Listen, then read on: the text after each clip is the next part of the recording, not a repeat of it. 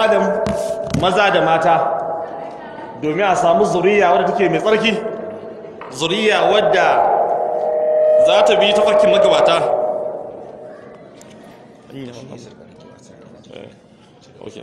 Zuriya wadda za ta bi ta farkin magabata wannan shine babban hadafin aure. To sai dai a yau abu ɗaya ne yake tasowa yanzu muke son mu tattauna a kanta wanda yana zame mana matsala a cikin wannan al'ummar kuma yana ci kamar yadda kasan gobar daji. A wannan matsala ɗin shine matsalar mutuwan aure kuma. Wannan bala'i ne faɗo wa al'ummar na Allah sallallahu alaihi wasallam sai fata Allah kama da sauƙi yadda zaka sha mamaki zaka ji a rana guda ɗaura aure sha biyar ashirin kaza sha kaza abin zai burge ka. Amma da za ka dawo bayan shekara biyar idan daura aure ashirin ne to bai zira Allah ta'ala da wayar samu guda goma suna da ransu. Da wayar samu guda goma cin guda ashirin nan suna raye. Za ka samu auren cikin sun mutu. Saura guda goma da ba su mutu ba in za ka bincika da kyau za a guda biyar akwai saura saki daidai ne. Biyar ɗin ne kaɗai za ka samu da ransu. Ta wannan musiba ce. Don a ƙa'idar shari'a da an tabbatar mutum zai auri mace don ya sake ta to bai ma halatta ɗaura auren tare da shi. Domin da mugun rawa gwamnatin tashi to idan likita bai gane matsalar da mara lafiya ke fama da shi ba ba zai san maganin da zai ba shi ba. Idan ba san me ke jawo waɗannan mace-mace auren ba to ba za mu fasa yadda za mu yi magani abun ba balle mu guji abun. Ƙwarya ƙwarya binciken da muka yi za ku sha mamaki. Yanzu yawan 'yan mata da ƙananan zawarawa yana neman ya kankanka. Kuna fahimta karatun nan? Yawan 'yan mata da ƙananan zaurawa wata mai haihuwa ɗaya sakota wata mai haihuwa biyu sakota wata mai haihuwa uku sakota to lamba suna neman zuwa ɗaya. To kun ga wannan bala'i ne a cikin al'umma manzan Allah sallallahu alaihi wasallam. Kuma wannan mace mace auren abin da muka fahimta matsalolin namu ne. Kamar yadda wani muke cewa ibu zamanina wal aibu fina kuma ni zamanina aibu siwana. Muna aibanta zamaninmu. Alhali mu ne ke da matsalar. Zamanin bai da wata matsala face mu ne matsalar zamanin. So muna fata a wannan ɗan takaitaccen lokaci za mu ƙoƙari mu gano matsalolin da ke jawo mace mace auren nan don mu gudu tare mu tsira tare. Allah shirya da mu shi na addini. Na farko dai shi ƙur'ani lallashin mu yake kada aure ya mutu. Ya lallashi maza kada aure ya mutu. Ya lallashi mata kada aure ya mutu. Yake cewa maza fa in karitumuhunna fa asa an takrahu shay'an waj'al Allah fi khairan kathira. Idan kuna ganin ga wani abin da mata suke muku kuke kyamar abin Allah ce ku yi haƙuri da su. Da yawa za ka kyamaci abu kuma Allah ya sanya alkhairi da yawa cikin sa ma'ana idan namiji na gani akwai wata matsala ne tare da matarsa ƙur'ani na cewa ya haƙuri ba mamaki matan nan ta san yirke ta. Allah sai ya ba da zurriya wadda za zama to salihan bayi wanda za zama to sanadiyar shiga aljanna ga su iyayen gabaki da kin ganin wurin? Ƙur'ani na lallashin maza. Manna Allah sallallahu alaihi wasallam da ya goba wannan magana. Hadisi sahih muslim. Sai manna Allah ya ce Allah yafriqu mu'minun mu'mina. In kariha min khulqan radi'a min akhar. Kada mumini ya ce zai rabu da mumina matarsa idan akwai wata ɗabi'a da take yi mara kyau ai akwai wasu kuma ɗabi'u masu kyau kamar na Allah sallallahu alaihi wasallam shi ma sai lallashi wa nan ƙur'ani da ya dawo wajen mata yana lallashi suka da su bar auren ya rushe sai ke cewa wa in mar'atin khafat min ba'liha nushuzan aw iradan fala juna alaihim an yusliha bainahuma sulh wa sulh khair Allah ce idan mace tana ganin kamar mijinta na wani takura mata ko akwai wata 'yar saɓani haka nan babu laifi da ita da shi a zauna a sulhu. Kun ga lallashin mata yake? Tana gana ko ta takurawa ta gana gana ko ta matsala. Ƙurani bai ce to a rubu ba sai ce a a zauna a sulhu. Sai ce sulhun nan shine alkhairi a gare mu. A shekin Allah hayya alim. Da mazan da matan ba wanda ƙur'ani ke ba shawarar cewa a rabu. Robot takan zo ne idan an kai ƙarshen karatu. Ne ƙarshen karatu?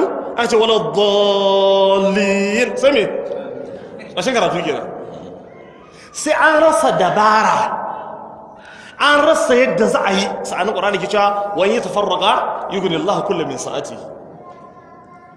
kafin a zo rabuwar sai da ƙur'ani cewa maza wallati ta kafu na nushuza hunna fa'izo hunna matan da ke ganin kamar suna wani daga kai ko suna neman saba muku ku yi masu wa'azi. Wajiru hunna fil madaji ku guje su din kwanciya. Wadribu hunna in ta kama ma'anan mun gare su inji qur'ani. Dan dai kaddi argudin ana sa ran aka wadannan matakan guda uku da yadda Allah za a guje wa mutu auren. Aka yi wa'azi bata ji ba? Ko ko kana wa'azin ta kabbara irin na shegantaka Allahu akbar Allah cikin malin jaba kaga wannan ba kabbara ce ta girmama Allah ba ta shegantaka ce. Sai Allah ce to a guje ta wajen kwanciya. Sai aka guje ta a wajen kwanciya sai bata canza ba. Ban ma sai ta dinga guga zana ta dinga habaici. To Allah ce fadribuhunna abuge su manzo Allah sai magana kan bugun ya ce darban gara mabarra duka ne ba wai na zaro hulala ba fafasa jiki ko a kare gaba ba a duka ne na ban tsoro. Duk da wai dan me kada auren ya mutu.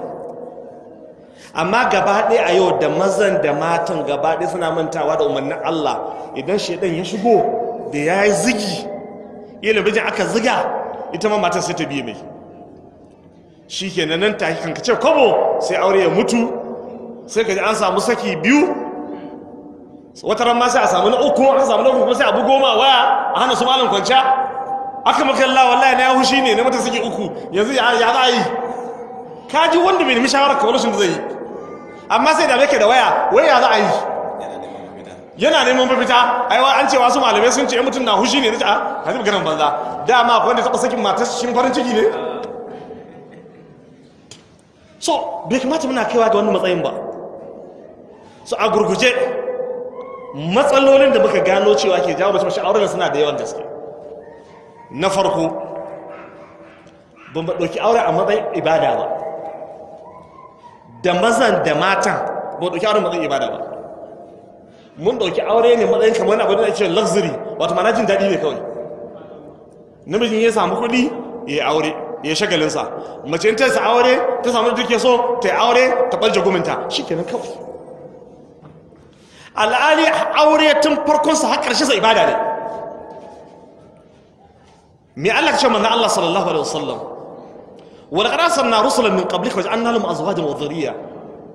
Allah ce ya rasulullah mu aiko da manzanni gabaninka kuma manzannin nan suna da mata kuma suna da yaya. Ashe tunda har manzannin Allah suna aure ashe tabbas aure ba mun wasa ba ne ba ashe ibada ne addini ne. Sunna ce ta duka annabawa. Ai shi sa sunan tirmizi manzo Allah sallallahu alaihi wasallam arba'u min sunan mursalin. Yace abubuwa guda huɗu suna cikin sunnan dukkan manzannin Allah.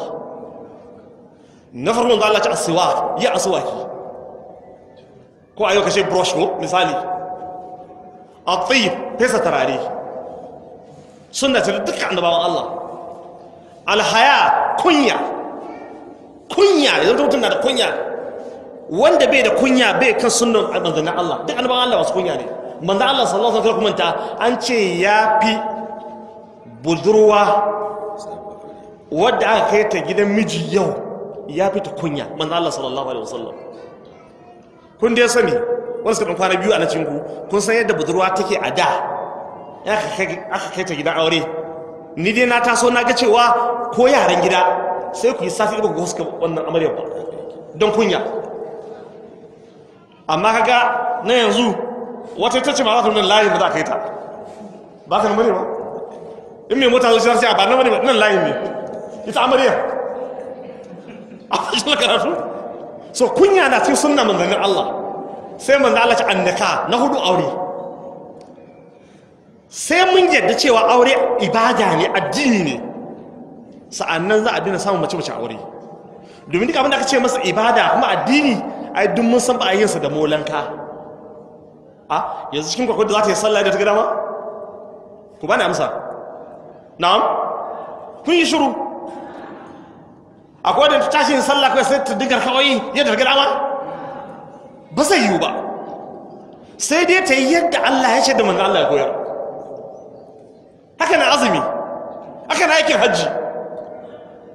Haka ake ibada aka ake addini. To tun da auren shi ma ibada ne kuma addini ne ashe kenan dole sai dai mu yi shi yadda shari'a ta ce a yi. Ba yadda muke yi a yau ba? Idan aka aure da miji da mata kowa sai ya dinga amfani da molanka. Da shi za a zauna. To ba zai yiwu ba a ce za su zama lafiya. Sai an koma magana imam malik rahimahullah ta'ala ya ce lamarin wannan al'umma ba za ta inganta ba sai abin da ya inganta lamarin farkon al'umman nan. Shi ne wata mana manzan Allah sallallahu alaihi da sahabbansa. Da akwai yadda mu ce aure addini ne manzan Allah ce fama an nikahu min sunnati fama ragiba an sunnati fa laysa minni. Yace aure yana cikin sunnata. Wanda ya ce ba ruwan shi da sunnata manzan Allah ce ba ruwana da shi. To zamantakewan nan tunda addini ne ashe kenan wajibi ne akan mu iyaye mu dinga zaunar da yaran mu ɗan mata kafin su aure mu koyar da su yadda ake zamantakewar a shari'a ce haka nan ƴaƴanmu maza idan za su yi aure wajibi ne mu zaunar da su mu koyar da su yadda ake zama auren nan a addinance sun cewa ibada ce za su yi. Nakan gaya mutane aure wata makaranta ce wadda duniya ba irinta institution ce wadda duk duniya ba institution irinta. Don mene ne duk makarantar da ka je za ka samu akwai ɗalibai akwai kuma malami. Ɗaliban na a shirye suke duk abin da malam ya faɗi ɗari bisa ɗari su saurare shi su bi shi. Shi yasa karatun ke zuwa cikin sauƙi. Amma a aure miji da matan dukkansu su ne ɗaliban kuma su ne malaman. Kuna fahimta ta? Mijin ɗalibi ne. Matar ɗaliba ce mijin malami ne matan malama ce. To wannan karatun zai sauƙi duk sauran makaranta wanda ke sa sauƙi akwai malami. Kuma kowa san shi yana kasa da malamin ne. To amma a wannan makarantar ta aure an fashe na karatu? Dukkansu ɗalibai ne kuma dukkansu malamai ne. Ka kenan karatun dole sai an kai zuciya nesa. Za a iya karatun. So dole mu fahimtar da yaranmu maza da mata su gane cewa aure ba wani abu ne da ake shi kawai don a ji daɗi wasu kenan na ji daɗi kuma shi kenan an wuce waɗannan lokaci kaɗan sa fara jan haushin juna. Sai mun ɗauke shi matsayin ibada. Kuma duk abin da ke ibada ana sanya mai ƙa'ida. Mai ƙa'ida da manzan Allah sanya wa maza idan za su yi aure? Manzan Allah shi ana aure mace da abubuwa guda huɗu yana ba mu labarin mutane ne. Wani aure mace don kyawanta wani aure mace don dangi ce tana da nasaba. Wani don dukiyarta ko ko dukiyar iyayenta. Sai manzo Allah ce fasfur bi zati dini tarba zai daka kai mumini dan zaki aure karibaci mai addini karimi mai addini. Shin yaran ku maza in za su nemi aure kuna ta sa su gaba ku zo da su cewa su aure masu addini? Na'am? In ya ce ya gano ya gano tarinya kuna cewa a bincike addininta da kyawawan dabi'unta ba a wannan. Ba a wannan. Sai da ce to kawo wannan hoton da mu gani. Aga wata ta kawai ai tana da sura lalle ka iya zaɓe. Shi kenan alhali akasarin wannan sura ɗin wannan kyawo ɗin kyawon ɗan maciji ne. Kyawon kandil ne. Wanda zai amfani mutane ƙwada kansa. Haka su ma matan. Manzan Allah ya ba da umarnicin da aure addini ne ya ce za a takun mantar don da dina wa kulka wufa zawuju idan mutum ya zo neman ɗiyakku ku bincika ku kun yadda da addininsa da halayensa. In kun yarda da addininsa da halayensa mun Allah ce ku bashi aure. In kun ki bashi aure ta kun fitnatun fil ardi wa fasadun kabir. Ko kuna so ko ba ku so Allah zai turo muku fitnoni da barna kala kala. To sai mu duba a yau. Idan ka zo neman ƴaƴanmu mata fi sabilillahi addini muke fara tamba ku bani amsa. Kun yi shiru? Na'am? Ni karatu na ba shuru ake ba. Don so nake mu koyar da juna. Ku koyar da ni liman koyar da ku. Fi sabilin addini ake fara tambaya? Ok. Kun ga an jefar da karanta wa manzan Allah kenan. Abinda ake fara tambaya awwalu ma yajibu alaihin an yas'alna. Farko abin da ke wajibi a tambaya ma amaluhu. Ina yake aiki? Teacher ne a primary. Aka ce cica ne a firamare ko malami ne a islamiyya? A ce inna lillahi wa inna ilaihi raji'un. Allahumma jinni fi musibati. Ke kuma kaddara kalla kaddaro miki? Kaji dan menene? Shi tica a firamare ko a sakandare ko a islamiyya shi ya riga an sanya mai tambari. Har ya mutu ba zai arziki ba. Ba zai kuɗi ba. Saboda haka da wahala za su mutu. Su amma da zara aka tambaya aka ce ina ke aiki? Ta ce yana nnpc sai ce masha Allah la quwwata illa billah. Sai so da wallah sujjada. Wai wai malamai sun ji akwai sujjada shukuru. Su zai da godiya ga Allah. Ko ta ce yana aiki CBN ko finance ko internal revenue ko external affairs. Masha Allah. Miji ya samu ba sauran tambaya kuma an gama. To wannan abin da aka yi to a tabbata ma saba manzon Allah. Kuma wallahi billahi tallahi ba ku bi na bashi nutsuwa ba wanda zai saba manzon Allah ga kyau. Har abada. A wake ba da zama lafiya nan? Ba Allah ba ne ba? To ba za a saba manzansa ba shi kuma ba da zama lafiya. Ƙarya ne man yi da ya rasu na faɗa da ta Allah ba zai yiwu ba falyahdhar alladhina yukhalifuna an amrihi an tusibahum fitnatun ba mu adhabun alayi yau gaba dai ba tambaya addini wajen aure ba tambaya ɗabi'a ba tambaya halaye balma wani abin da ake tambaya da me ya zo ya kace a ƙasa ya zo sashi oh alhaji tunkis tunkis kaga daga nan da mashin yanzu a da wani mashin din ciki wayo Allah na to da sauƙi sauƙi da sauƙi sauƙi kaji ba? Wayo Allah kuɗi na. Da kyau. Da ke da ɗaya taku za ku wayo Allah nan gaba. Tunda ba bi cikin addinin shi ba. Ba cikin ba bi cikin halayensa ba. In ku aka dace ya zo da mota. Ai alhamdulillah. Sai ka zara ce to ke farki ke fa da gaske. Ba a fa wasa wannan zamanin. Maza fa ba a yi da wasa wannan zamanin. Ki riƙe shi da hannu biyu biyu. Kuma ki gaya mai ya turo. Tun da mota ta zo. Shi kenan shi duk kwalis da ake buƙata ya ce ne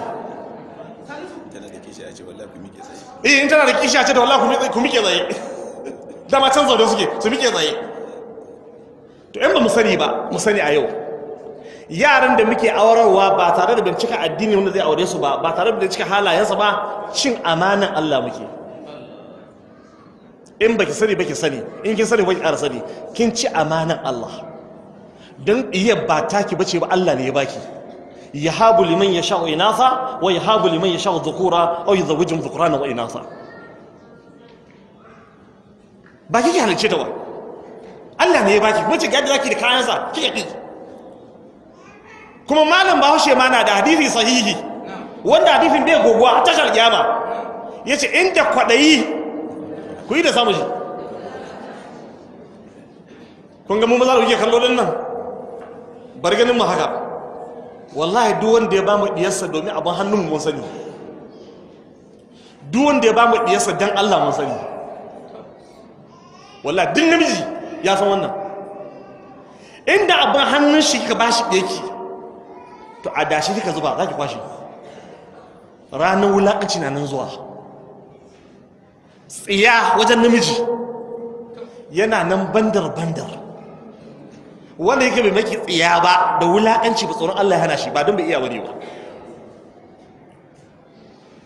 So kun ga na farko talabi kenan ba mu bin ƙa'idojin ba da auren da kuma aurowa. Na farko kenan. Na biyu cikin matsalolin da ke hana zama lafiya ɗin ko da an ji auren shi ne laifi na iyaye. Musamman iyayen su 'yan matan. Mai laifinsu?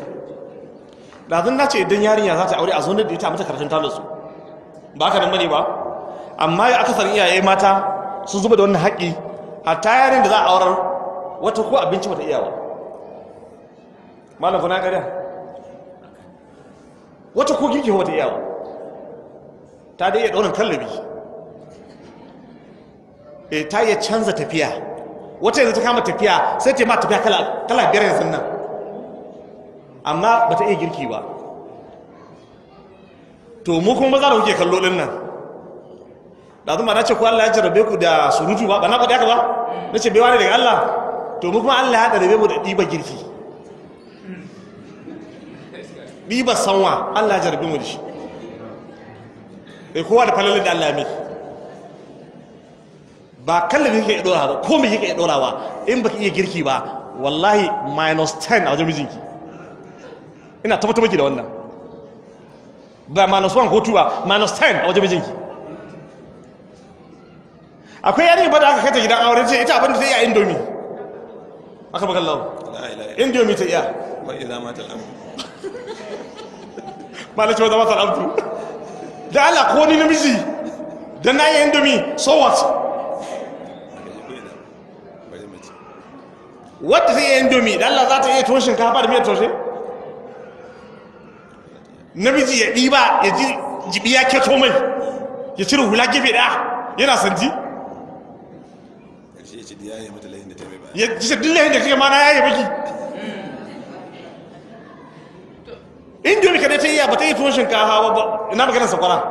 Duk babu. Na kuma shinkafa wannan wata yarinyar ba ta iya da za ta ma shinkafa ka ci shi da daɗi ba.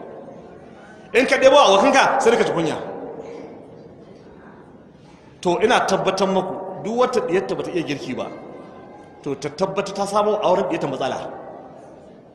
A ta ai mu ba muke girki a gida ba ai masu aiki ke yi eh ana ba da ladin masu aiki. A cire rana guda a sati yaran su dinga yi. Masu aiki su huta ran nan yaran su yi a koya musu. Domin in kukuna da wadatar masu aiki ke yi kun san wanda za ta aura ne? Na dole shi masu ya ɗauko masu aikin? Yi malai ce ta yi matalauci mai daraja ta ɗaya a tallocin ma. An fashin da karatu? Rashin yin girkin nan in ba ku sani ba ku sani yana cikin abin da ke fidda son mace da ƙaunar ta cikin zuciyar mijinta. A to bai da mata yana cin abinci a titi. Ya yi mata kuma bai dai cin abinci a titi ba. Mai faru ɗan auren? Wanda dan mu gane wannan sirrin manna Allah sallallahu alaihi wasallam da Muawiya bin Haida ya tambaye cewa me haƙƙin mace akan mijinta? Sai ce tut'imu wa idza ta'imta. Abinda kake ci shi zaka ce da ita. Karatu ne nan wurin. It means ashe abin da kake ci da kai da ita ashe tare za ku ci yana wata mana girki ɗaya za a ci. Ba kai za ka je Mr. Big ba ne ba ka ci abinci ita kuma ta sha gida. A'a kai so ake ka zo ka sha gidan kai za ce tut'imu wa idza ta'imta sai aka samu ta yi girkiwa daga na samu matsala kuma samu matsala ba? An samu matsala. Tun da karatu muna yin shi a gurguje ne. Bari mu je matsala ta gaba wadda ke jawo mutuwa aure a wannan zamanin namu. Gina aure akan ƙarya. Gina shi kan me? Kan ƙarya. Malaman sun ce kullu ma laysa lillahi fa akhiru inna lillah. Duk abin da ba yi shi dan Allah ba to ƙarshen sa da dama ne inna lillahi yi su dai samari matasa sun gane cewa mata ƙarya suke so. Saboda idan ya tauzance ko da bai da waya mai tsada sai aro waya mai tsada. An fashe na karatu? Don shi ke ɗauka hankali 'yan matan. Gaba ɗaya da gida da banki bai da dubu ashirin nashi amma sai tawo da waya dubu ɗari da hamsin wajen zance. Ya aro wayo Allah kuɗi na wani ma ya samu dama ya aro mota mota da zai zo da ta yau daban wadda zai zo da ta gobe daban. Kai har wani shiri ma suke yanzu. Sai sa da baki da abokinsa. Zan je don wancan ƙarfe kaza daidai ƙarfe kaza ka bugo ka kira ni. Yana wajen ta suna zance sai abokin shi ya bugo mai. Assalamu alaikum wa alaikum salam. Wa ke magana? Eh alhaji ai kayan nan ne a an ce sun iso lagos. Yau sun iso lagos sun yi da wani kira? Ba na tura tareloli ba kaji matsiyaci. Abokin shi ne ba a haƙuri to a kai sto ɗin kasuwa a kai sto ɗin ƙarya ne kuma. Ita kuma tun da ƙarya take so. Sai ta ƙara jin hani'an mari'a. Wa tumaninatu nutsuwa ya zo mata. Kuma ƙarya ne. Kai wa an su ma yadda muka gano su. Zai ce wa yarinya ganin zuwa ranar juma'a. Sai ki zuwa ranar juma'a din. Kuma sai kulle wayar shi. Ta kira shi juma'a shuru asabar shuru lahadi shuru litinin shuru talata sai zo. Lafiya? Ce don laki haƙuri. Kin samun da ya faru? Ina barin na ran nan. Baban mai bugo man daga paris. Cewa earlier in the morning next day in same shi a ingila. Aiki jiwa ta bata shiga ko? Ba ki ba ta shiga? Ai na can. I landed in heathrow friday morning. Muna tare da shi friday saturday. I took zamu dawo sunday. Daga nan sai a san wuce frankfurt a germany. I was surprised. Ko jirgi bai taba gani ba? Ko jirgi bai taba gani ba ita kuma tana nan tana ta masha Allah za su jirgi. Kin ga an gina ba akan ƙarya.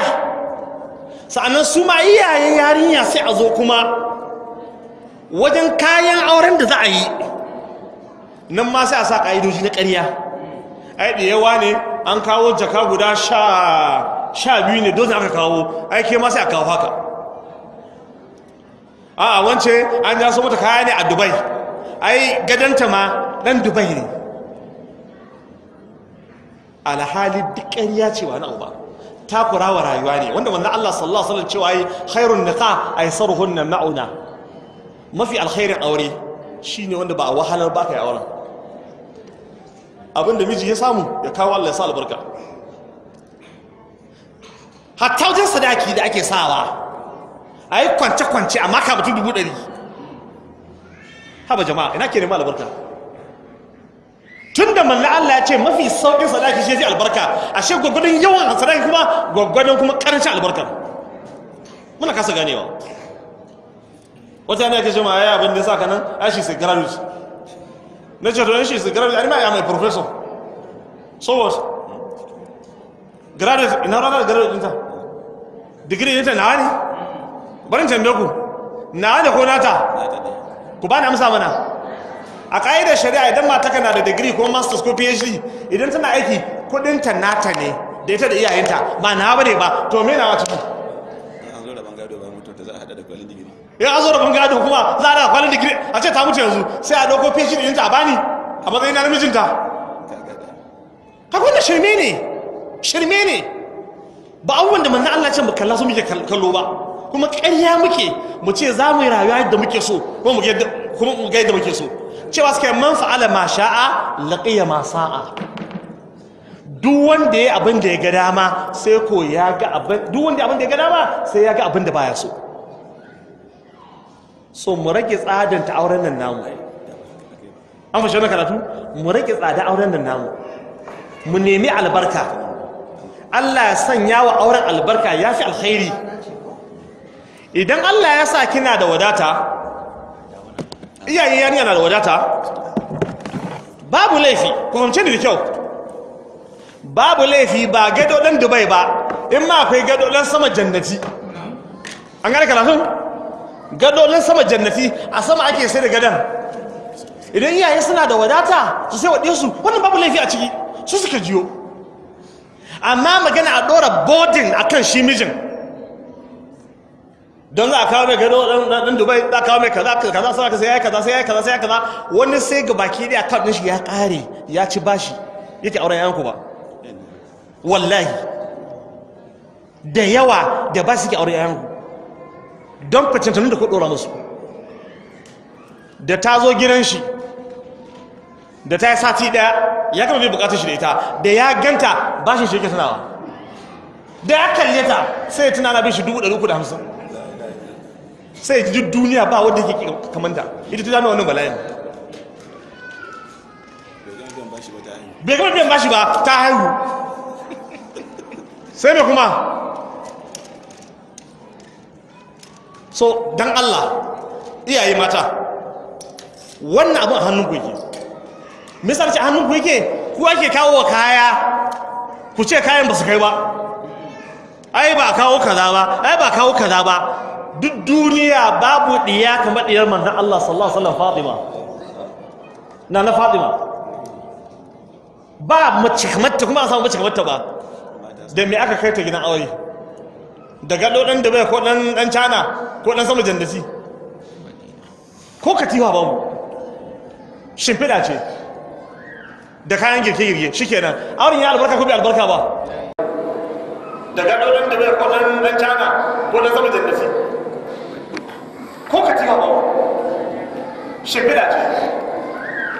Kayan girke-girke shi kenan auren ya albarka ko bai albarka ba kai kada mu je can wurin faduwa ga masu sittin sittin nan ƙura'ani sittin sittin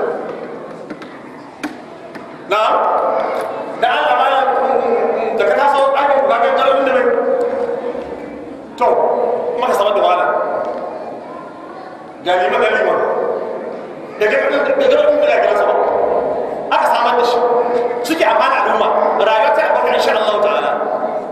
Waɗanda yake yawa kan garin da bai ba suke sama a cikin gari ko ba su ba ne ba. What is the value? Me fa'ida to? So mu cire ƙarya cikin lamuran mu na aure. Matsala ta gaba. Wadda ke sa auren aurace mu na mutuwa shine yana gina aure akan sabon Allah. Kan sabon Allah tun kafin a aure sai an yi abubuwan da zai sa tsine wa taron. Ta me ta yaya? Za a ce akwai ƙauyawa dai aka bakan lahu akwai 'yan birni dai akwai inyamurai dai akwai 'yan iska dai akwai arabian night akwai dj akwai japanese night. Duk wannan iskancin ba addini ba ne yawa. Domin duk wannan abubuwan da ake yi ai maza da mata ke hadawa 'yan matan nan za su je ko da arabian night ne? Ai da tsaraici suke zuwa. Ba fitar da suke sa ba? Mazan munafikan. Kowanne sai gashi da wani munafikin jallabiya. Wani munafikin jallabiya suke sawa ranar arabian night. Sai a je wajen gari da maza da mata sai a haɗu. Ko ayan limamin madina ne kaɗa maza da mata ƙarya kake ce za wanye lafiya. Ƙarya kake. Mace da zo da tsiraici ƙa'idar manzo Allah sallallahu alaihi wasallam shine la'ana Allahu nazir wal manzur ilayhi. Wanda ya tsiraici Allah ya tsine mai. Wanda ya kalle shi shi ma Allah ya tsine mai. So a ƙauya dai an samu tsiraici Allah ya tsinuwa. A Arabian night an samu tsiraici Allah ya tsinuwa. A cultural waye an samu tsiraici Allah ya tsinuwa. Sai kuma a zo a daura auren kuma ce ana so a zo da lafiya. Wallahi ƙarya ne. Son ko ba ce ana sa samu zuriya ɗayi ba. Ƙarya ne. Kuma wannan laifin wannan laifin akasari kowaye ne mata. Don kuke da control akan ƴaƴan naku mata amma kuke suke su sakaka eh ta kaga yanzu saboda Allah kawayenta za su zo daga za su zo daga Lagos za su zo daga Sokoto wata ma sun yi dan fodiyo tare. Dan fodiyo tare. To shine me? A shi kenan sai a yi biki shuru kamar ba biki ba. A malam bikinka shuru ne kamar ba biki ba? Aka magana ya haƙuri. Matan ka nawa? A wuce da shi gaba. Aka magana lawa bikinka kamar ba komai ba ne ba shuru ne. Shiru bai saboda Allah wa jama'a. Waɗannan shegantakun. Kuma yanzu shiru muka a wannan bikin? To kuma shiru kuma shiru yanzu shiru aka a wannan bikin? Duk wanda ya zo nan wallahi bai kuma gida sai Allah ya bashi lada. Sai Allah ya bashi lada kuma sai Allah ya shi mai albarka. Allah kuma domin sanadiyar wani a nan cikin wanda mu ba mu san shi ba mu ba mu san shi mu ba. Allah na sha duk wanda ke nan wani an mai gafara. Me muka rasa? To sai a gina aure akan tsinuwar Allah. Wai sai a kai yarinya gida kuma cewa ana sa zuwa lafiya ana sa za mu zuriya ɗaya ba? Wannan magana banza ce. Duk wannan abubuwan sai an daina yin su. A yi biki yadda Allah ce a yi biki. A yi murna a yi abinci. Ba ka namare ba? A ba mutane. Yan uwa su zo. Allah sa albarka. A kai amarya. Masha Allah. Me yake buƙata kuma? Amma kun kai yarinya mala'iku na rakata da Allah Allah tsine Allah tsine. Ku ce zo na lafiya. Ba mu ganin zama lafiya. Kamar yadda na faɗi farkon karatun nan cewa hatta wajen bincike ma ana sakaci yanzu ba ma bincikewa ba a bincike. A ce eh ai to wannan mutumin an ce ana ganin shi a masallaci. Shikenan ana ganin shi a masallaci za ba shi aure? Yanzu ba da su gano ta tsaya kasa wanda suke yanzu malam. In ya je neman aure aka ce da za a bincike ka ce a ai dalibin majalisi ne. Ai da kun je majalisi na nan an damu damun malam. Shikenan. Yo dalibin majalisi shedan bai zuwa majalisi? A ka'idar shari'a ba dalibin majalisi ko malamin majalisi ne zai auri ɗaya ke kisa a bincika ya halayensa suke. Wani ɗan uwa shekarun jiya shi zai aurar da ƴan usa sai suka zo daga shika wai gashi sun kawo kuɗi a sa rana wa ita mu malam ba kai koya mana ba. Za mu je shika mu bincike ku. Za mu je bincike ku a shika ya ko tashi da kansa ya je shika ya je gano inda yake. Ya gano unguwar. Ya tambi mutanen unguwa suka ce tabbas mun san shi.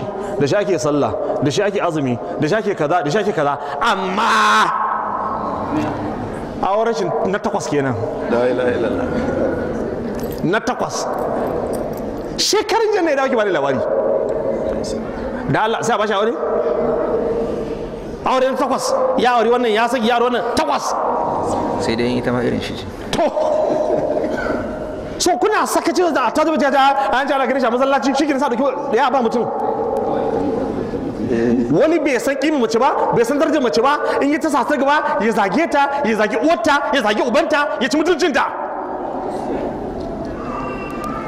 Duk waɗannan matsaloli jama'a sai mai karatun ta natsu. Karatun ta natsu shine mace da son zuciya. A daina kwaɗayi wajen ba da aure. Abin da shaida ta ce ku duba mutum na da addini yana da halaye masu kyau yana da sana'a. Kada ba mara sana'a aure. Bayan da shari'a ta ce to shikenan ai wa mai tawakkal ala Allah fa huwa hasbu. A? Ban gane wa mai tawakkal ala Allah ba. Bakin da Allah zaga. Bai hana shi abinci. Wannan karatun babu shi. A tabbata yana da sana'a. Amma level nawa yake? Wannan ba ruwanku. Domin wani na level 16 a aikin gwamnati. Amma wallahi kan wata ya kare sai ya ci bashi wani level 7 mu muna ganin wannan da yawa. Ba level din shine rufin asirin ba rufin asirin na hannun Allah subhanahu wataala level 16 sai zai cin bashi wani level 7 ko level 8 sabon da ke buƙata ba statue din shi aiki din ba ba level din shi aiki din ba yana daidai aiki ko masha Allah Allah ya sa albarka. Har ila yau cikin abin da ke kashe aure a wannan zamanin kishin banza da na wofi da mata ke yi. Kishin banza da na wofi. Yarinya ce mijinta bai sai aje waya ba sai ta duba. Wannan ba rashin tarbiyya ba ne ba? In na ronki da wayata? Na taɓa ɗaukar waya kina duba ne ni? A a wai ba misali. An mace karatu? Ai alama ce ta sha baki yadda da ni ba. Kina binciken man waya?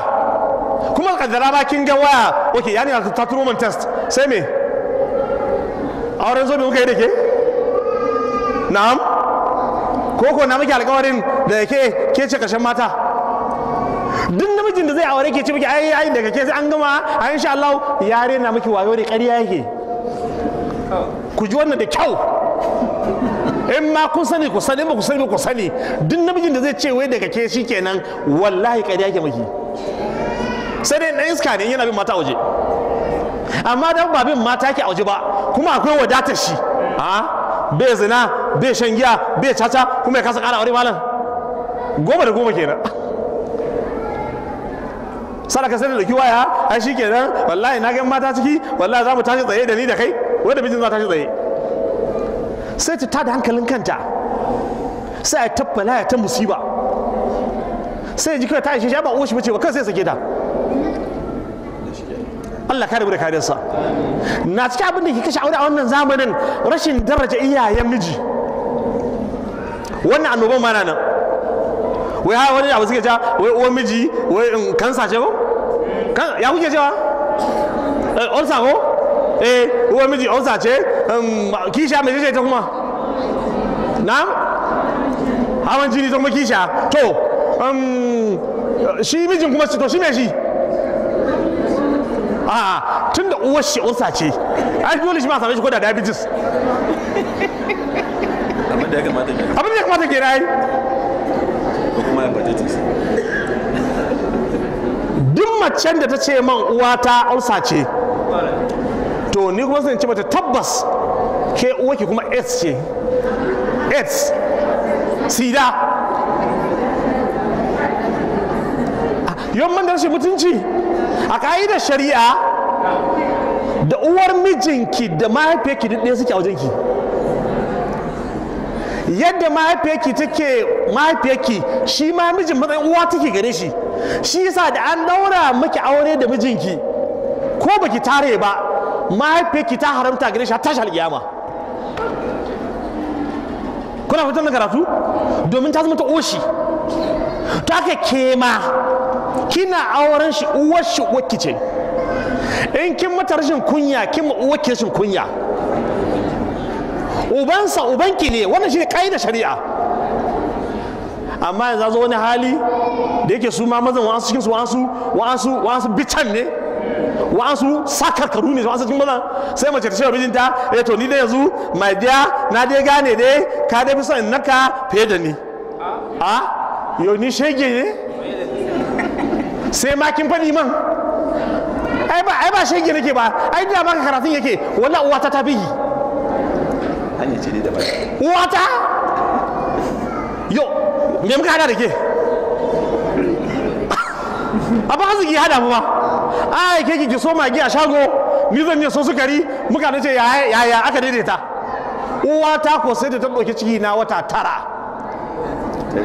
Ran da za ta haife ni kafa ɗaya duniya ɗaya a lahira. Ta goya ni shekara biyu tana shayar da ni nono. In mata fitsari a jiki in mata kashi ba ta ganin yashi wata ran ba ciwon kai ba ciwon baya in hana ta baccin dare. Ta ƙi! In man lafiya ba ta lafiya. In man ya ci ba ta iya ci. Tana sallah tana sallah mata fitsari a jikinta. Aike da mahaɗu da ke ran nan bakin titi wai shine haƙi ce wai ai na gane yanzu dai ka fi son in naku. Ha? Ai ni ba shege wani ba na fi son in nata wana wannan rashin ganin mutuncin dangin mijin na kashe aure ba kaɗan ba. Don menene? An ce zo mu zona zo mu saba. Duk yadda mijinki ke son ki wata za ku saba. To idan kina daraja danginsa yayyensa kannansa iyayensa su ne za su zo su tare maki faɗa ran nan. Ko ba ka nan ba ne ba? Wata uwan mijin ce waɗanta za ta yi kai kai kai! Daga yau kadan ƙara ji. Kadan ƙara ji ka ci mutuncin yarinyar nan da ya arziki. Kuma kin zauna kenan. Amma ba ya ganin mutuncin uwar shi ba ya ganin tayyarsa ba ya ganin ta kawo nasa duk ran da bala'i ya taso sai su ziga shi. Ko ba ziga shi za su yi ba? Sai su ziga shi auren ya mutu. Waɗannan matsaloli ne muke fama da su cikin al'umma kuma suke kashe mana aure. Da dama kuma akwai yarinyar da hatta ma da za ta yi magana da mijin ta iyawa sai da dinga ce mustapha? Ce musulmi yanzu da Allah jama'a ko ni zan ce wa malam mustapha ce mustapha?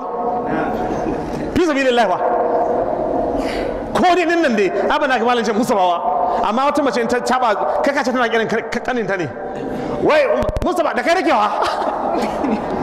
Ko ba ka ji ne?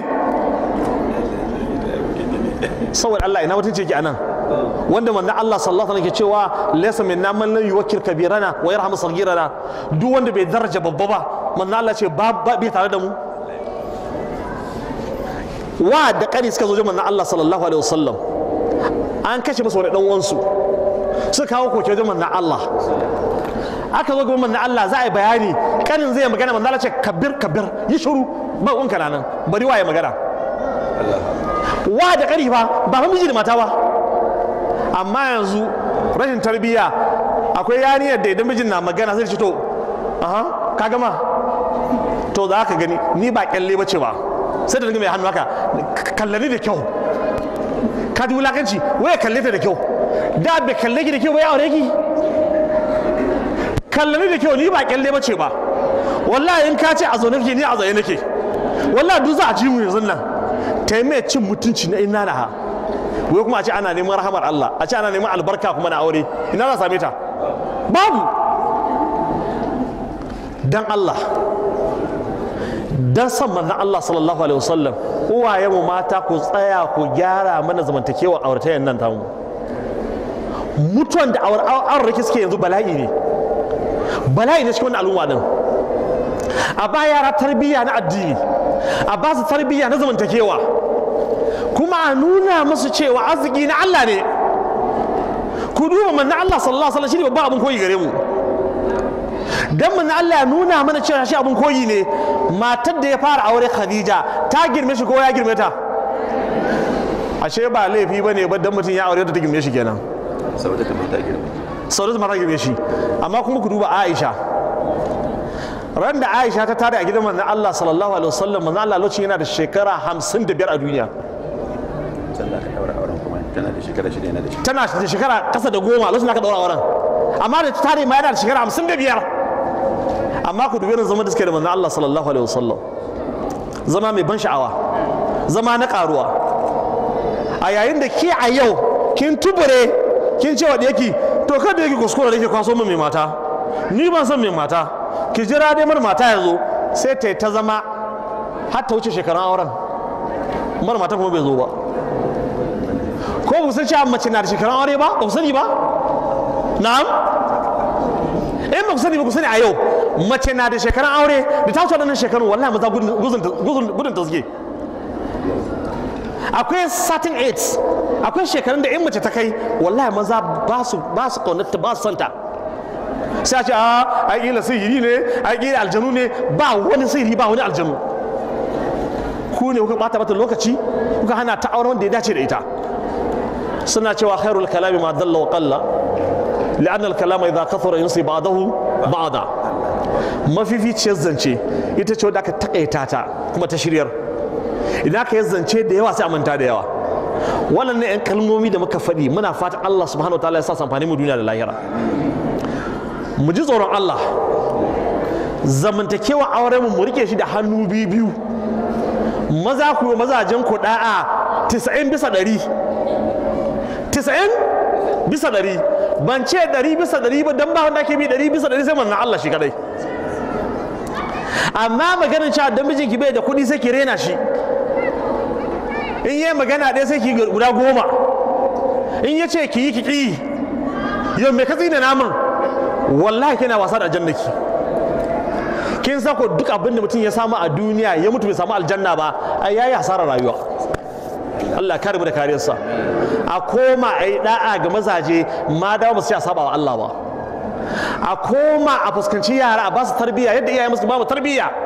Iyayenmu ba su sake baka nan ba ni ina mamaki wai ka haifi ɗa amma ka dawo kai ke jin tsoron ɗan da ka haifa. Allah kaka mu. Jere mu da wannan. Akasarin ku yanzu tsoron yayan ku kuke.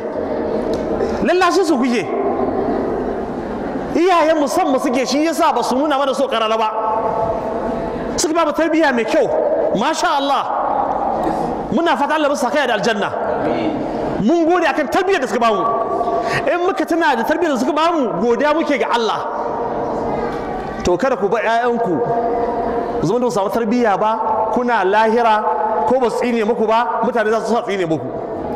Domin duk inda ɗanka ya aikata aikin banza sai Allah ya tsine uwar da ta bi wannan yaro. Ko ba kake cewa ba? Allah kare mu da kariyarsa subhanaka allahumma bihamdik. Ashhadu an la ilaha illa anta.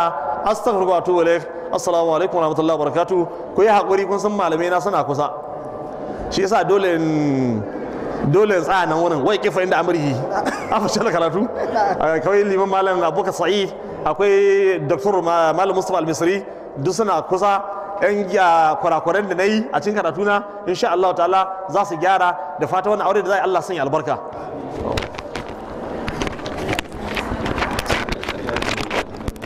Na'am. To insha Allahu da fatar abin da muka ji daga malam Allah ya sa ya kare mu ya amfane mu duniya mu da lahiran mu. Tsakani da Allah a cikin ɗan takaitaccen lokacin da muka ba malam ya yi magana magana da ban yi tsammanin mai sharhi zai iya sharhi a kanta ba sai dai kawai ɗauki ɗan wani abu ƙwara ɗaya. Abinda nake so in ɗan yi ɗan sharhi ɗan takaitaccen sharhi a kai shine ɗan takaitacce ƙwara ɗaya magana shi ƙwara ɗaya ma da aka ji. Ita ce cewar mu ji tsoron Allah baki ɗaya mu mu sani Allah zai tambaye mu akan kiwon da ya ba mu malaman nan da kuke gani tsakani da Allah abu ƙwara ɗaya ba za su iya tunkuɗe muku shi na game da tarbiyyar 'ya'yanku ba sai dai su ɗan hiɗi muku ɗan abin da za su hiɗi muku. Amma 'ya'yan nan da kuka sani wallahi naku ne ku Allah ya ɗora ma tarbiyyar su kuma ko kun ki ko kun so ku za ku ɗauke su kuma wallahi tallahi ma dama kuka tashi a gaban Allah ya ce muku dan to to kuma makoma ta yi muni.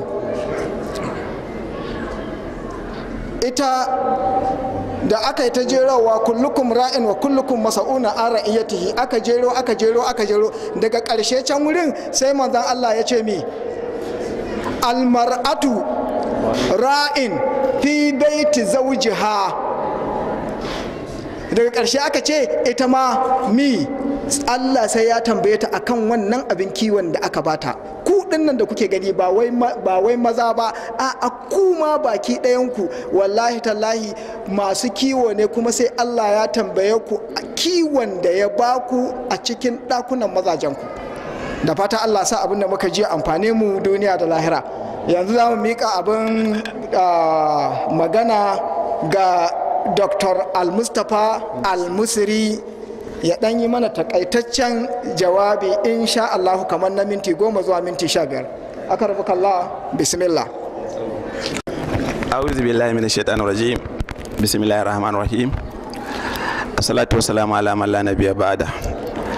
Assalamu alaikum wa rahmatullahi wa barakatuh. Al'umma masu albarka waɗanda suka taru cikin taro taron albarka.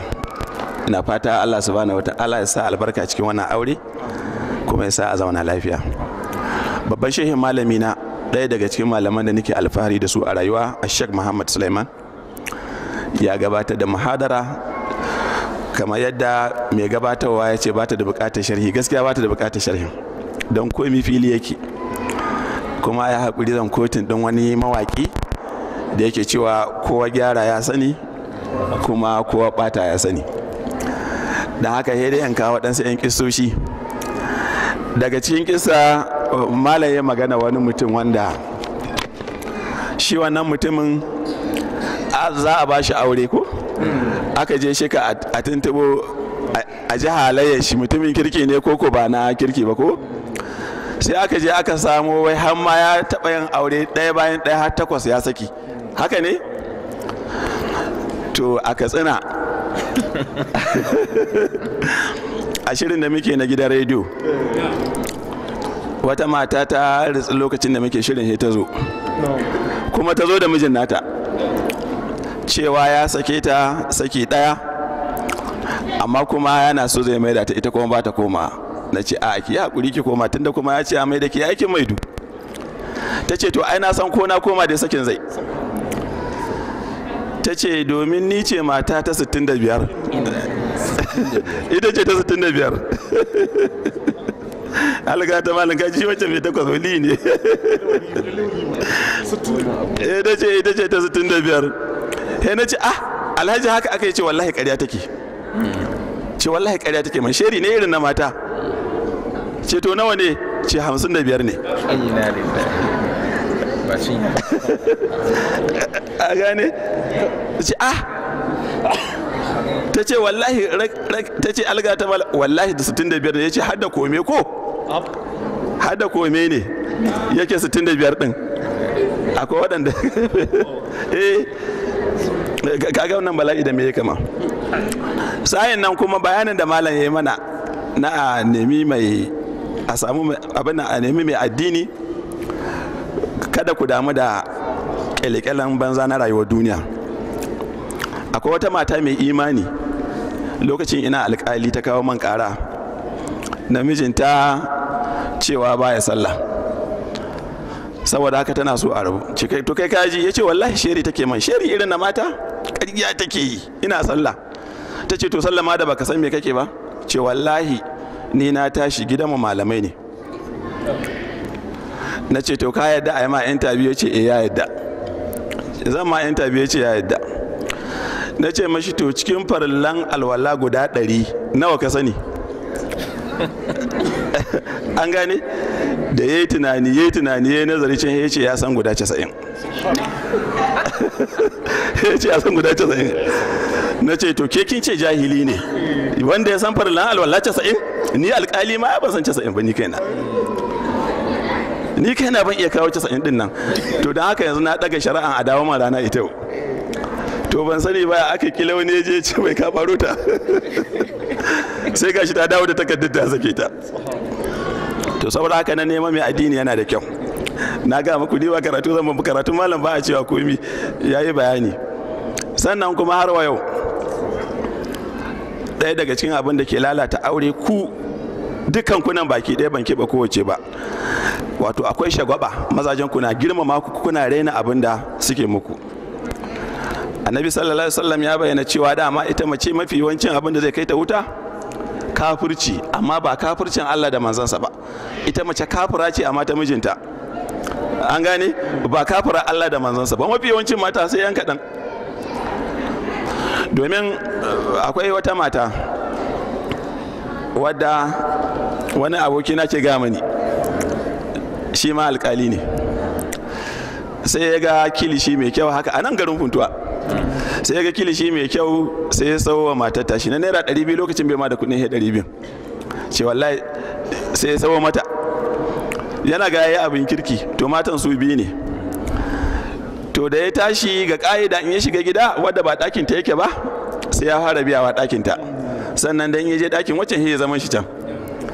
To da ya je ɗakin wadda ba nan yake ba sai aka samu matsala ya iske ta tana fama da rashin lafiya. To ya dan daɗe a nan cikin ɗaki saboda haka nan da ya shigo cikin wannan ɗakin ya magana ta banza da shi. Ya magana ta banza da shi. Ya ɗauko kilishin na ya miƙa mata da ta dubi bango ta maka kilishin da ya tarwatse. Ya tattara abin shi ya aje gehe guda ya ɗauko abinci ya ce koma ya kwanta. Sai da safe kuma ya tafi wurin aiki kotu. Da ya tafi yake cewa da rabon allah zai nuna mai wa'azi. Kes na farko da ya fara kira sai matar ta ce tana ƙarar tana so su rabu da mijinta ne. To me yasa kike so ku rabu da mijinki? Sai ta ce saboda ya ƙwace man fatanyata ta zuwa kwadugo gona. Kun gane bayanin yaya bambancin wadda tana kwanci aka ce tashi ungo kilishi. Ita kuma fatanya ta ce mijin nata ya ƙwace wadda ke zuwa kwadugo. Ah to wai kai haka ne? Ce eh haka ne ranka ya daɗe to me ja ma wannan? Ce ai wallahi ina so ta riƙa ni ma ina son a riƙa man kwadugo nan ba ta zuwa gona ta sai dai ta je gonan mutane. Kai ka ji ba? Sai ta ce to ai ina je maka biya. To ka ku duba ku gani ku irin yadda Allah ya ni'imta ku mazajen suna bakin ƙoƙari kuma ku dubi halin da wasu mazajen suke ciki. Abin nan kullum annabi sallallahu alaihi wasallam yana bayyana cewa in kana duban na sama da kai ba za ka gode ma Allah ba. To da haka nan ku ji tsoron Allah. Ku gode wa mazajen ku. Wallahi mafi yawancin mazajen nan naku in sun fita sai dai in sun dawo. Wallahi wallahi sai dai in sun dawo. Tsakanin yan kidnappers tsakanin hadarin babura tsakanin hadarin mota da menene. An gane? Addu'a kawai ke dawo da mu gida. Wani ba zai ma dawo. Eh ayi haƙuri da ku ji ni ba karatu nake ba malam ya gama karatu. Ko? Na dawo Kaduna ba a yi wata biyu ba ba a yi wata biyu ba lalle. Da na dawo Kaduna na zo daidai wajen National Teachers Institute. Wala sai mota ta ta yi overheating ina nan har magarba ta yi man ni kuma na nace nace dole na dawo funtuwa. Ga magarba ta yi. Na sanya mata lokacin kafin in kawo dan kande wani wuri nan da ake ce ma dan kande inda ake abin nan. Na da mata karin overheating ta zafi. Wanda wannan ya tilasce ni dole na samu wani guest abin nan na kwana. Eh shikenan da na kwana ina da tunanin in kawo baka nake dako eh na ce ma bari tun da dai ta kwana bari in murza ta. In ta zo zariya ba komi. To shikenan da na ɗauko motar bata ƙara zafi bai da na zo wani gari in an wuce birnin yaro. Da na zo na ce bari in tsaya daidai nan wurin. Wala Allah wannan wurin in motar nan ta yi zafi in duba in gani tunda dai cikin gari ne jama'a. To na tsaya kuma ba ta yi zafin ba ma. Lahi alau. Mutane suka taso nan wurin wasu ma sun sani. To su suke gaman cewa a wannan garin nasu cikin dare yan kidnappers sun tare. Eh wannan hanyar da daidai hanyar garin. Abin da nake so in bayyana a nan wurin wannan bacin mota da ta kaga rahama ne a wajena. To saka nan mata ku yi haƙuri ku ɗauki al'amari ku maida wa Allah subhanahu wataala ku ɗauki dangana kuma ku riƙa yi wa mazajen ku addu'a. Idan abin da mazajen ku suke yi cuta maku suke yi ku ba su da Allah. Allah ya ishe su. Idan kuma abin da suke yi daidai ne to da ku da su duk Allah zai rahamta muku zan tsaya a nan wurin gaskiya ni ba zan ci gaba da surutu ba. Ba karatu ne ba malam ya mana karatu. Allah subhanahu wataala ya sa lafiya da zaman lafiya ya sa a gama da duniya lafiya kuma Allah ya zuba albarka mai tarin yawa a cikin wannan aure da sauran aurataya ta 'ya'yan 'yan uwa musulmi baki ɗaya a zawarawa da 'yan mata waɗanda ba samu miji ba Allah ka ba su mazaje na ƙwarai masu albarka. Waɗanda ke ɗakunan mazajen nasu Allah subhanahu wata'ala ya sa su zauna lafiya. Marasa lafiya mu kuma Allah ya ba su lafiya. Kuma muna fata Allah ka yi mana arziki na halal mai albarka ka shiga tsakaninmu daga sharrin kamuwa da ƙwayoyin cutar talauci. Allah ka yi mana arziki na halal mai albarka. Subhanaka allahumma bihamdik nashhadu an la ilaha illa anta nastaghfiruka wa natubu Allahu akbar. Allah saka da alheri a kar muka Allah sa abin da muka ji ya zama mai amfani ne a gare mu duniya mu da lahiran mu. Za mu mika bututun magana ga malam abubakar sa'id puntuwa insha Allahu domin ya karar da mu. Shi ma za mu ba shi minti goma da izinin Allah kamar yadda muka ba dan uwan shi a kar muka Allah. Bismillah. Billahi minash shaitanir rajim. Bismillahir rahmanir rahim wassalatu wassalamu ala rasulillah wa ala alihi wa ashabihi ajma'in. Assalamu alaikum wa rahmatullahi wa barakatuh. Dan dai an biyo ta haka ne kawai amma dai ina gode ma Allah dama da hagun duka duk dama ce manyan malamai na ne. Wannan shine sauƙin kawai. In zan tangada ta nan za a tarbo ni. Ta nan ma za a tarbo ni. Karatu an riga an gama. Illa iyaka halarta na malamai da kuma mu almajirai wani abu ne na ƙarin goyon baya da kuma fatan alkhairi ga wannan hidima da aka samu ta aure. Allah kuma ya sa albarka. Na abin da zan yi tsokaci a kan shi sakamakon karatukan da na saurara na malamanmu a yanzu shine abin da ake ta kururuwarsa a yanzu ya zama mana misali mu fahimci ɗabi'ar matasanmu a wannan lokacin.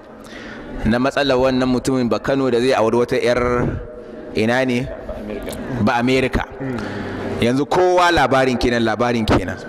Abin da ya dan ja hankali na shine wani abin da na karanta wai ya ce 'yan matan najeriya ba su iya soyayya ba. To wannan wani abin lura ne. Sai na bibiyi dukkanin hotunan da ya yi da videos ɗin da suka yi da ita wannan bako bature. Sai na fahimci wato mu 'yan matanmu alhamdulillah suna da tarbiyya. Ba sa da muguwar ɗabi'a irin ta su wa'incan arna. Matanmu duk rintsi za ku gansu da hijabinsu kuma ba su ƙoƙari su riƙe hannun samarinsu matuƙar ba ya aure ba. Mafi yawancin matanmu alhamdulillah. Samun shi a mota mala to. Shi shi a mota. To shi sai ya zama na cewa yanzu ai tunani ma ake za a yi auren. An ce za ta koma ta dawo march a yi hidima aure sannan ta koma za a je a yi processing visa. Visa tana ɗaukar wata tara zuwa wata goma sha biyu sannan a zo a tafi da shi. Shi kuma da yake ganin wannan ita ce ta iya zoyayya sun tafi ina ne sun tafi ina ne yan ƙananan kaya ya riƙe hannun ta riƙe hannunsa. Ba hijabi tare da ita. Sai ya ce matanmu ba su iya soyayya ba. So saƙon da nake so mu fahimta a cikin wannan shine gurɓacewan samarinmu da 'yan mata na ƙoƙarin fahimtar wai irin wannan ɗabi'ar ta turawa ta arna ita ce kuma muke so murka adopting a matsayin ita ce soyayyar da ya kamata murka apply kun ga duk wannan idan ya zama na cewa ba mi taka tsantsan ba to duk irin abin da malaman nan suka gaya mana da irin matsalolin da suke faruwa kun ga tun daga nan ake samun matsala. Mama da ta baiwa kuɗin ta take kashewa ta zo neman shi. Kuma kudinta ta kashe ta taho. Kuma ita ma can aikin abinci take yi a wajen gidan wani abinci na wasu 'yan afghanistan a can ma california. Shi kuma ya ce in ya tafi can zai koma karatu sannan ya samu club da zai riƙa buga makwallo kuma sannan iyayen duk sun ce a san barka. Kuma daga cikin wani abin da ya ƙara ban takaici wai ta ce duk yan uwansa wajen su ɗari sun zo suna ta santa saboda wasu ma ba su taɓa ganin baturiya ba. Har taɓa mata gashi suke yi su ji baturiya. Shi kuma ɗauki yake ta zai tafi wajenta. Gaba ɗaya ta ƙasƙantar da wa? Family ɗin shi ta ƙasƙantar da dukkanin al'ummanmu. Shi kuma a lokacin gani yake ya samu ɗaukaka. Kawai matsalan zai tafi america to wace tsiya ce america to irin wannan abun sai kuma wasu matan mu su kuma hes ce a amu ma ya kamata mu zo muna da wayewar in ma kwalliyar ce min iya in ma menene min iya bari mu yi. Domin wasu matan namu suna tunanin hijabi ma takura sai yake yi. Yana hana a ga kyansu. Ba haka ba ne hijabi kyau gare. Sannan mace ta sa hijabinta a lokacin take da kyau da yawa malamanmu suna buga mana misali dangane da yanayin suturan mace. Cewa duk wani abu wanda yake muhimmi ne kana son sa kana so kai amfani da shi barin shi kake tsirada ko ɓoye shi kake yi? Boye shi ake yi. Ko sukari a kwali yake. So wannan hijabin da Allah ya azurta mu da shi mu ci gaba da jin daɗin sa shi kuma mu riƙa neman lada a wurin Allah domin ibada muke yi. Kuma sannan kada mu rudu da wa'innan samarin. Domin shi wannan saurayin ya ce ya yi ya sunan shi samartaka. Haka ake cewa? Ya yi soyayya yawa. Ya yi soyayya da 'yan mata rututu. Amma shi bai samu wadda bai samu wadda ta iya soyayya ba daga wani. Haka shi ba ma zai kara soyayya da matan najeriya ba. Ba su iya ba. To mun gode ma allah. Dama ya za a yi kafiri ya so wanda yake musulmi? In kaga an haɗu to akwai inda aka yi kamanceceniya. Walan tarda ankal yahudu walan nasara hatta tattabi'a millatahu. Duk da akwai bayanin cewa za a iya aure kaza ba wanda nake so in taba ba. Ina so in nuna mana cewa ɗabi'un su zama ɗabi'u na ƙwarai. Kuma muna roƙon Allah subhanahu ta'ala dukkan mu baki ɗaya da manyan mu da ƙananan mu duka Allah ya shiryar da mu mu fahimci addini kuma mu yi aiki wanda Allah ya yarda da shi. Wannan ina so in yi wani abu na ƙarshe shine kasancewar wannan walima ta mata ce musamman kuma ga kuma ta iyaye tsakani ga Allah ina so akwai wani abin da malamanmu suka hango mana cewa da yawa matsalan da matan 'yan matan suke yi suna gani ne a wurin ku iyaye. Na rashin tsafta na rashin tausasa magana ga miji na rashin tsare ka'idojin da ya kamata a ce na aure. Abubuwa suna nan da yawa. Da rashin iya abinci. Gaskiya da yawa ana kokawa cewa su wa'innan 'ya'yan naku suna gani ne a wurinku. Mace in ta shekara arba'in hamsin sai ta ga yanzu ba sai ta yi kwalliya ba. Yanzu ita wannan matar da muke magana baturiyan nan shekara ta arba'in da shida. Shi kuma shekara ashirin da shida ne wasu sun ce ashirin da uku shekara ashirin da shida na gani a yau. Amma yanzu yana rawar jiki yake yi. Amma inda nan in najeriya ce ta shekara talatin sai ce ta mai tsufa. Me ya kawo wannan? Su da Allah mu kula da wa'annan babu lokaci kamar yadda muka gani amma dai a riƙa lura a daina barin damar da wasu mutunanin su riƙa zuwa inda bai dace ba. Kuma wannan yana da uwa fa yana da uba. Allah ta mala yana da uwa yana da uba. Amma kalli inda tunanin ya tafi. Yaushe ma har ya samu duk ya bi wa'annan matakan har aka taho har aka zo. To Allah ya tsare mu baki ɗaya. Allah ya sa mu gama lafiya. Zan tsaya nan. Makalla Allah saka da alkhairi. Malamanmu Allah ya maku kyakkyawan sakamako. Allah ya sa abin da muka ji daga gare ku ya kare mu duniya da lahiranmu kamar yadda muka gani a cikin takarda akwai ita wadda ta kira wannan taro ko kuma wadda ta tara wannan taro insha Allahu za ta zo ta yi mana jawabin godiya ta jawabin godiya ga waɗannan malamai da suka amsa gayyatatta har suka zo suka yi mana nasiha. Insha Allahu daga nan wurin za mu yi addu'a tunda lokaci ya taho za mu tashi sai kuma wani lokaci in Allah ya yarda.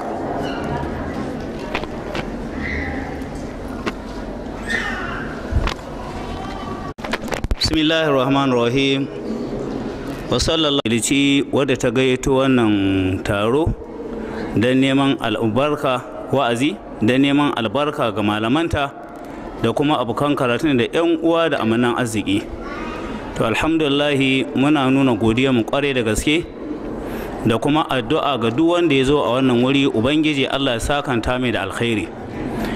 Da wanda ya zo daga nesa da wanda ya zo daga kusa ubangiji allah ya mai da kowa gida lafiya. Yadda aka amsa wannan kira ubangiji allah ya tara mu a gidan aljanna firdausi. Malamanmu da suka karantar da mu suka lura da mu suka wa'asar da mu suka tsoratar da mu suka nisayantar da mu allah sakanta musu da alkhairi. Allah ƙara ilimi ilimi mai albarka. Ko kuma da kuka zauna kuka saurari wannan karatu a cikin natsuwa da kwanciyar hankali allah ya saka muku da alkhairi. Wannan aure da sauran auratayya baki ɗaya ubangiji allah ya sa mishi albarka ta dukkan auratayya musulmi baki ɗaya wanda da yake da mata ɗaya allah ba shi ikon yin guda biyu a cikin tsari na addini. Wanda ke da biyu allah ba shi ikon yin uku. Wanda ke da uku allah sa ya kulle. Wanda ke kullalle kuma Allah ba shi iko yin adalci kawo masa halal halal mai albarka. Assalamu alaikum wa rahmatullahi wa barakatuh. Akar makalla Allah saka da alkhairi. Abu na ƙarshe shine za mu miƙa abin magana mu ga alƙadi muhammad bin muhammad ko? Na'am domin ya tura rufe mana taro da ada insha Allah. أعوذ بالله من الشيطان الرجيم بسم الله الرحمن الرحيم والصلاة والسلام على أشرف المرسلين نبينا محمد وعلى آله وصحبه وسلم muna fatan wannan aure Allah sanya albarka a ciki Allah shi ba su zama lafiya Allah ba su zurriya ba Allah ya sa su yi zama a kan sunna ta annabi Muhammad sallallahu alaihi wasallam dukkan abinki Allah ya kare shi tsakaninsu da sauran matan jama'a musulmi gaba daya wannan haɗuwa da muka wannan gurin Allah ya sanya mana albarka kuma Allah ya mai da mu gidajen mu lafiya sallu ala nabi sallallahu alaihi wasallam Allahumma salli ala Muhammad wa ala ali Muhammad kama sallaita wa rahmata wa sallallahu alaihi wa ala alihi wa sahbihi innaka majid اللهم إنا نسألك من فضلك ورحمتك فإنه لا ملك إلا أنت اللهم إنا نسألك من فضلك ورحمتك فإنه لا ملك إلا أنت اللهم أشرح صدورنا ويسر أمورنا وقال هوائجنا وكل المسلمين أون ومعينا وهاديا وحافظا ونصيرا اللهم أكفنا بحلالك عن حرامك وأغننا بحلالك عمن سواك. اللهم إنا نسألك الهدى والتقى والعفو والغنى. اللهم لا تدع لنا ذنبا إلا غفرت ولا هما إلا فرجت ولا دينا إلا قضيت ولا حاجة من هوائج الدنيا والآخرة إلا قضيتها يا أرحم الراحمين. سبحان ربك رب العزة عما يصفون وسلام على المرسلين والحمد لله رب العالمين.